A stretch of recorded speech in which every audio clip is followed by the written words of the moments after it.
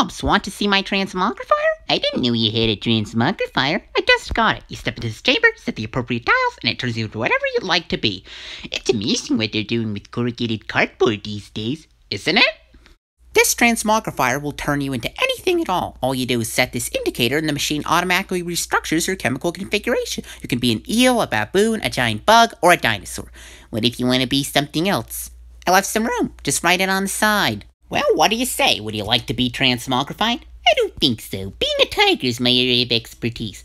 Don't be scared. The process is instantaneous and completely painless. Just think, with the push of a button, you could be a 500 story gastropod, a slug the size of the Chrysler building.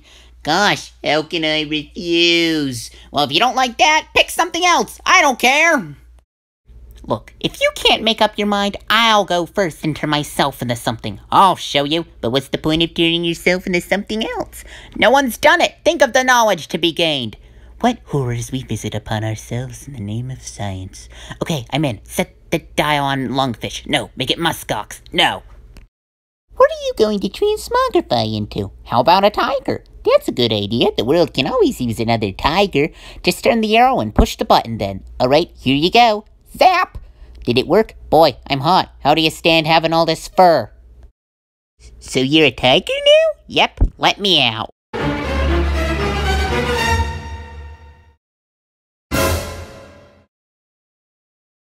Words fail me. I'm disappointed too, but keep in mind transmogrification is a new technology. So, Calvin, what's it like to be a tiger now? Kinda fuzzy, but not that different. So, what do you want to talk about? Do we eat soon?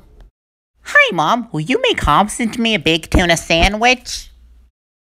I thought you hated tuna fish. Not anymore. I'm a tiger now. I thought Hobbes was your tiger. Now I'm one too. I transmogrified. Oh, I see. My, she's taking this well, but the strain will surely crack her soon. I'm home. Hi, Dad. Notice anything different about me? Uh, a new haircut? Jeez, did you go blind? I'm a tiger! I thought you meant besides that. Calvin, your dad's very tired. And? Hope you want tuna for dinner, dear. Well, Hobbes, it's been fun, but I don't think I was meant to be a tiger. Just set the dial to Calvin and I'll transmogrify back to a boy. Here you go! Zap! Oops! Try again, lunkhead. Here I am, back to being Calvin.